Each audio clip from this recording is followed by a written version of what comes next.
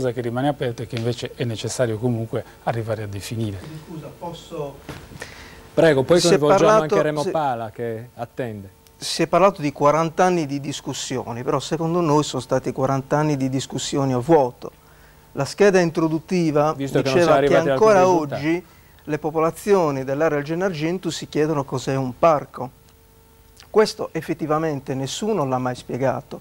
Oggi siamo qui per discutere su un vizio che ha preceduto l'attuazione del decreto istitutivo del parco, però ancora oggi le popolazioni del Gennargentu si stanno chiedendo che cosa è un parco. C'erano dei finanziamenti per la diffusione delle informazioni. Sì, eh, Non sono, sono stati, stati stanziati utilizzati. circa 3 miliardi eh, dal 12 Ministero dicembre 1998, Esatto, il decreto 3 è stato miliardi per l'informazione e questa informazione 99, non è mai partita. Allora, eh, io sono d'accordo anche qua- con quanto diceva qualcuno, forse lo stesso Liori, nei comuni si dovevano svolgere anche dei referendum, d'accordissimo, però prima del, de- del referendum deve essere preceduto da una capillare azione di informazione che non c'è mai stata.